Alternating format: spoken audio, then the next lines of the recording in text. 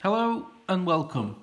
In today's video I'm going to demonstrate how to replace the key fob battery in this Ford remote key fob. The key fob battery is situated in this half of the key fob so what we need to do we need to split the key fob into to access the battery. Right what we need to do is there is a little hole here that you can see we slide our flathead screwdriver down the hole like so which splits the two halves of the key fob. Now we need to split this case here to access the battery.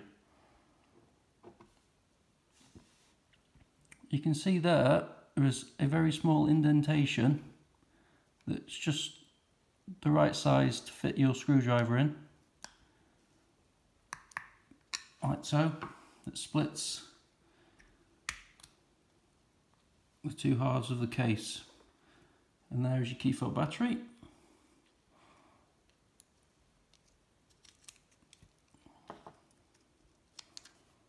Just flick it out of its housing.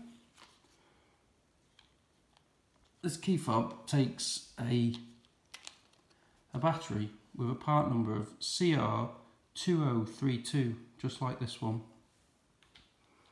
We take our new key fob battery, we pop it back into the housing, like so, making sure that the writing is facing downwards and it's in its correct location. And now it's time to pop it back together. Pop the case like that, make sure everything clicks in, and put the, the top back on.